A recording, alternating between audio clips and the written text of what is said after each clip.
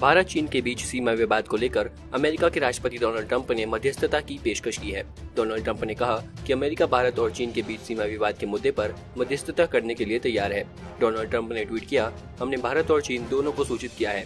अगर वो चाहें तो सीमा विवाद में अमेरिका मध्यस्थता करने को तैयार है। गौरतलब है कि इस महीने की शुरुआत से ही लद्दाख में चीनी सैनिक और भारतीय सैनिक आमने सामने हैं। चीन की ओर से लगातार सैनिकों की संख्या बढ़ाने और बेस बनाने की खबरें आ रही हैं। ऐसे में भारत भी पूरी तरह से मुस्तैद है। बीते दिन प्रधानमंत्री नरेंद्र मोदी ने भी इस मसले पर प्रधानमंत्री कार्यालय में चर्चा की थी। पीएम मोदी ने मंगलवार को लद्दाख मामले पर पूरी रिपोर्ट ली। इसके अलावा तीनों सेना के प्रमुखों से विकल्प सुझाने के लिए कहा गया। इस बैठक में राष्ट्रीय सुरक्षा सलाहकार अजीत डोभाल भी मौजूद रहे।